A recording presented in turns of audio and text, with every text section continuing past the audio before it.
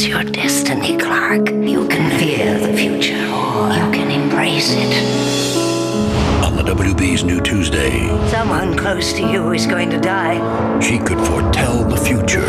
Are you afraid of what you'll see?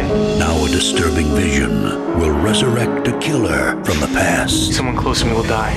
You can't save him, Mrs. Kent.